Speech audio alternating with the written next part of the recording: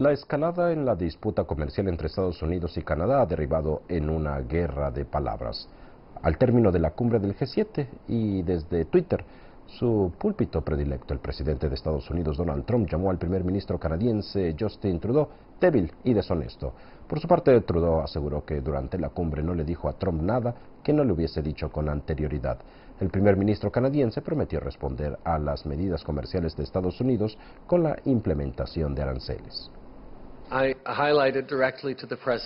Destaqué directamente ante el presidente Trump que los canadienses no nos tomamos a la ligera que Estados Unidos haya seguido adelante con la implementación de importantes aranceles a nuestra industria del acero y el aluminio.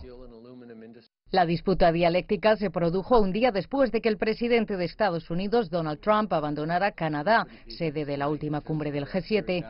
El primer ministro canadiense Justin Trudeau describió como insultantes los aranceles que Estados Unidos ha impuesto a Canadá, México y la Unión Europea. El inquilino de la Casa Blanca culpó a Trudeau de haber provocado un final de cumbre nefasto, asegurando que le esclavó un cuchillo por la espalda, según sus propias palabras. Poco después de su publicación, Trump retiró el apoyo de Estados Unidos al comunicado conjunto del G7. Pese a todo, Trudeau quiso sortear la polémica y puso de relieve la importancia del acuerdo alcanzado en la cumbre. CGTN en español.